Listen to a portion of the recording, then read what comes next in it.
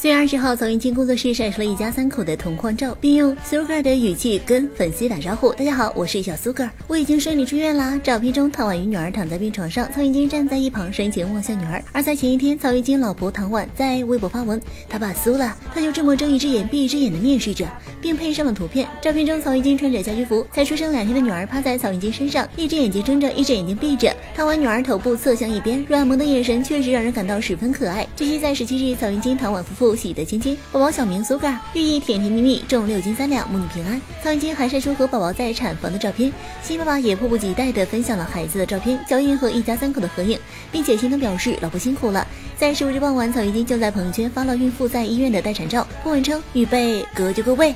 据悉，唐婉选择顺产，生到后面已经精疲力尽，医师建议使用产钳，但新妈妈不让，因为担心对孩子有伤害，没有力气了，都撑着最后一点力气坚持自己生产，以至于全程陪同唐婉生产的曹云金感动泪崩，感慨产妇太不容易了。